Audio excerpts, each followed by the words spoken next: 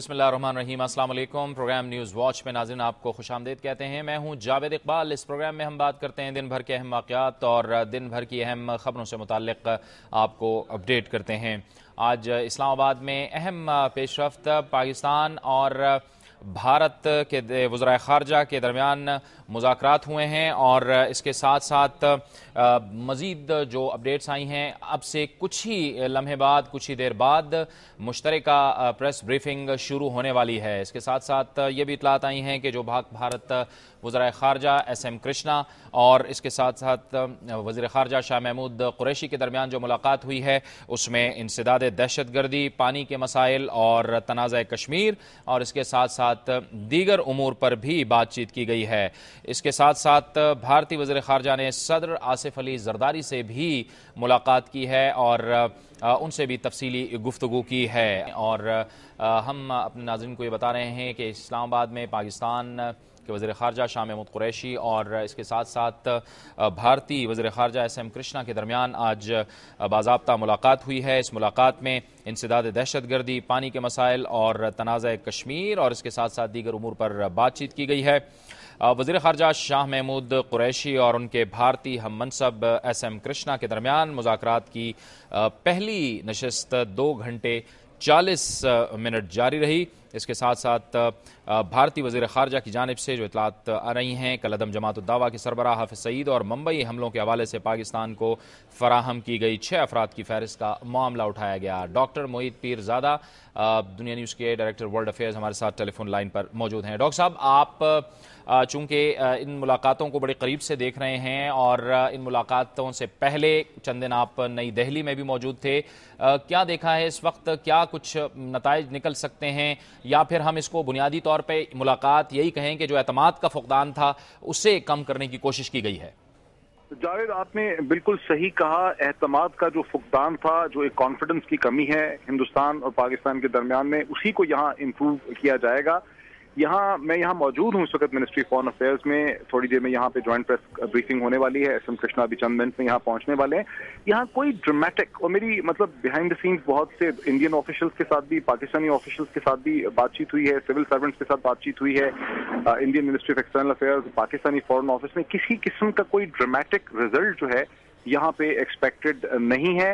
और सिर्फ़ यह है कि एक, एक सस्टेन डायलॉग और एंगेजमेंट की यहाँ पे बात की जाएगी। यहाँ एक पॉजिटिव इसको शक्ल दी जाएगी लेकिन हम एक्सपेक्ट नहीं करते कि किसी किस्म का कोई ब्रेक थ्रू यहाँ पे होगा। अच्छा लेकिन डॉक्टर साहब इस मुलाकात को बुनियाद बनाया जा सकेगा आने वाले दिनों में जो कि एक ज़ाहिर है कि कोई वाक़ होता है और उसके फौरी बाद ज़ाहिर है पाकिस्तान और भारत के ताल्लुक में ज़ाहिर है कशीदगी आ जाती है। आप ये कह सकते हैं कि ये मुलाकात एक बुनियाद साबित होगी आगे चल के ताकि मुजाकर का जो सिलसिला है वो जारी रहे दोनों मुल्कों के दरमियान।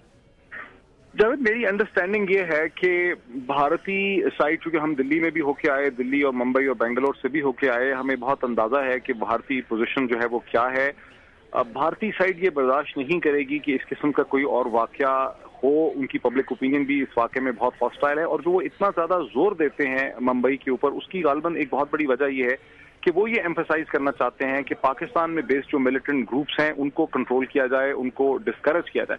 ज़ोर यकीनन वो प्रोसिक्यूशन पे देते हैं। लेकिन जो अंडरलाइंग उनका जो एम्फोसिस है वो ये है कि दोबारा इस किस्म का वाक्य नहीं होना चाहिए और पाकिस्तान इस किस्म के ग्रुप्स की एक रिस्पॉन्सिबिलिटी और ज़िम्मेदारी ले। और पाकिस्तान गालिबन पब्लिकली तो पाकिस्तानी पोजिशन यही है कि हम गारंटी नहीं कर सकते, लेकिन एक्सपेक्टेड यही है कि पाकिस्तान अंडरस्टैंड कि दिल्ली की इस मामले में सेंसिटिविटी जो है वो क्या है। तो हम एक्सपेक्ट नहीं करते किस किस्म की कोई चीज़ मजीद हो पाएगी। अच्छा डॉक्टर साहब, हमारी तरफ़ से जो निकात उठाए गए होंगे, जिसमें जो हम कह रहे हैं कि ये जो मुलाकात से पहले कश्मीर में जो हालात पैदा हुए हैं हमने अपने जो जो तहफ़ात हैं, मकबूजा कश्मीर के हवाले से जो तहफ़ात हैं और जो पानी के मसाइल हैं, उन पर भी हमने बात की होगी और हमने उन तहफ़ात को भी बड़ा मजबूती से पेश किया होगा भारतीय वजर खारजा के सामने। जावेद, यकीनन मतलब पाकिस्तानी डिज़ायर तो ये है कि इन इश्यूज़ को उठाया जाए, लेकिन जो मुझे पता चला है, पाकिस्तान के सीनियर यानी जराये से वो यही है कि हिंदुस्तान टेररिज्म पे तो बात करना चाहता है, लेकिन कश्मीर पे बात नहीं करना चाहता। हिंदुस्तान ट्रेड और कॉमर्स पे तो बात करना चाहता है। लेकिन पानी और एनर्जी के इश्यूज़ पे बात नहीं करना चाहता। हिंदुस्तान सरक्रीक पे तो बात करना चाहता है, लेकिन सियाचीन पे बात नहीं करना चाहता। तो फीलिंग यह है कि इंडियन फॉरेन ऑफ़िस जो है, जैसे आप कह सकते हैं कि इंडिया की जो मिनिस्ट्री ऑफ़ एक्सटर्नल अफेयर्स है, जिसे साउथ ब्लॉक भी कहा जाता है, उसकी अप्रोच बड़ी हार्ड लाइन है और वो पेरिफेरल इश्यूज़ पे तो बातचीत करने के लिए तैयार हैं। लेकिन जो सेंट्रल कोर इश्यूज़ हैं, खास करके पाकिस्तानी पॉइंट ऑफ़ व्यू से, जैसे कश्मीर है, जैसे पानी है, जैसे एनर्जी के मसाइल हैं, जैसे सियाचीन है, उस पर वो खुल के बातचीत करने के लिए या एंगेजमेंट करने के लिए तैयार नहीं है। डॉक्टर साहब ये इस मुलाकात से ठीक यानी एक या दो रोज़ कबल ये जिस तरह के इंडिया में बयान आए और जिस तरह से पाकिस्तानी इस्टेब्लिशमेंट को एक बार फिर जोड़ा जोड़ने की कोशिश की गई मुंबई हमलों के साथ आप क्या समझते हैं कि ये भी बड़े मानी खेज किस्म के बयान थे? बहुत ही सही। देखिए जे जीके पलाई जो इंडिया के होम सेक्रेटरी हैं वो एक दिन पहले इंडियन अखबार इंडियन एक्सप्रेस में चले गए। और वहाँ जाके उन्होंने कहा कि हमारे पास एविडेंस है, शवाहिद हैं कि Pakistan inter services intelligence ISI जो है वो रिस्पॉन्सिबल है मुंबई के लिए। अब ज़ाहिर है इससे मीनिंग यही निकलता है कि इंडियन एस्टैब्लिशमेंट ने एक दिन पहले पूरा का पूरा जो इस्लामाबाद टॉक्स हैं, उसको मुंबई की पे फोकस करने की उस पर कोशिश की। लेकिन जो मैं आपको बहुत दिलचस्प बात बताऊँ, मुझे यहाँ इस्लामाबाद में ये पता चला है कि जब ये बात एस एम कृष्णा साहब के नॉलेज में लाई गई तो उन्होंने बर्मला ये कहा कि वो जी के पिलाई की इस बात पे स्टेटमेंट पे नाला हैं, इस पे हैरान हैं, परेशान हैं, वो समझ नहीं रहे कि होम सेक्रेटरी जो हैं उन्होंने ऐसी बात क्यों कर दी? अगर किसी ने ऐसी स्टेटमेंट देनी थी तो कोई फिर पॉलिटिशियन देता, आखिर एक टॉप सिविल सर्वेंट से जो कि गवर्नमेंट का पिलर है, उससे ये स्टेटमेंट क्यों दिलाई गई? इससे तासर ये है, पाकिस्तान की मिनिस्ट्री ऑफ़ फॉरन ऑफ़िस में ये भी तासर है कि शायद हिंदुस्तान में जो मुख्तलिफ़ पोलिटिकल प्लेयर्स हैं, जैसे होम मिनिस्टर चदम बरम हैं और जो फॉरन ऑफ़िस है वो एक पेज पे नहीं है। ये इसलिए भी बात लगती है कि जब हम दिल्ली में थे और हमारी एस एम कृष्णा से और निरुपमा राव से जो ऑन रिकॉर्ड बातचीत हुई तो उनकी जो टोन थी वो बड़ी कॉशियस थी। उन्होंने आईएसआई को पाकिस्तान की मिलिट्री स्टैब्लिशमेंट के बारे में किसी किस्म की कोई बात जो है वो डायरेक्ट नहीं की। जबकि चिदम्बरम जो होम मिनिस्टर उनके हैं, उनकी लैंग्वेज बड़ी सख्त और टफ थी। तो यहाँ इस तासुब को तकवीत मिलती है कि होम मिनिस्ट्री और फॉरेन मिनिस्ट्री एक पेज में नहीं है। बहुत बहुत शुक्रिया डॉक्टर मोहित पीरजादा। कुछ ही देर में ब्रीफिंग होने वाली है। हम दोबारा भी आपसे बात करेंगे और अपडेट लेंगे इस हवाले से।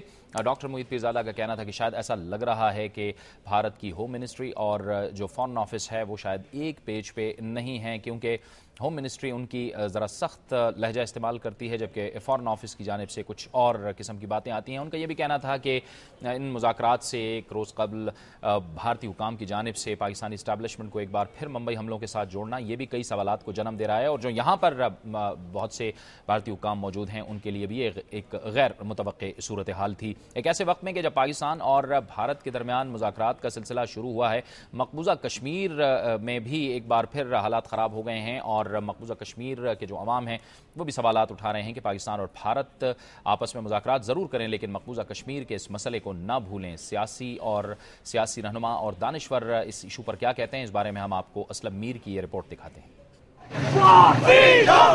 भारतीय वज़ीर खारजा एस एम कृष्णा ने पाकिस्तान पहुँचने के बाद बयान जारी किया है कि वो मोहब्बत और अमन का पैगाम लेकर आए हैं। इस्लामाबाद एयरपोर्ट पर मीडिया से बात करते हुए एस एम कृष्णा का कहना था कि तमाम मसाइल का वाद हल सिर्फ़ मुजाकरात हैं। मुजफ्फराबाद और श्रीनगर में मुबसरीन पाकिस्तान और भारत के दरमियान मुजाकरात की बहाली को मुस्बत पेशरफत करार तो दे रहे हैं, लेकिन वो मसले कश्मीर के मुस्तकिल हल के हवाले से इन मुजाकरात से कुछ ज़्यादा तो नहीं रखते। भारत को अपनी निकनीति का सबूत देना चाहिए।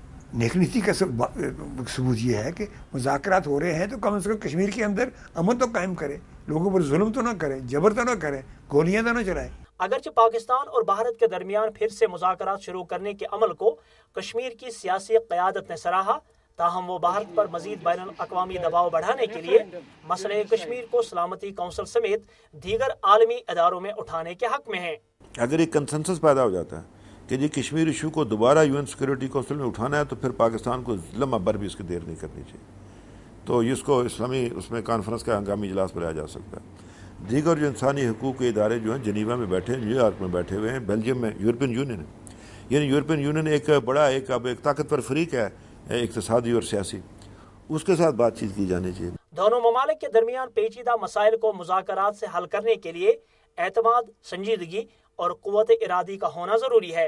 पाकिस्तान और भारत के दरमियान मुजाकर की कामयाबी के लिए दीगर हल तलब मसाइल के साथ साथ मसले जम्मू व कश्मीर को मुस्तकिल बुनियादों पर हल करने के लिए एक मुकर मुद्दत का तयन करने से दोनों ममालिक के दरमियान एतमाद साजी की बहाली को मजीद फ़रोग मिलेगा। कैमरामैन मोहम्मद नवीद के साथ मोहम्मद असलम मीर दुनिया न्यूज़ मुजफ्फराबाद।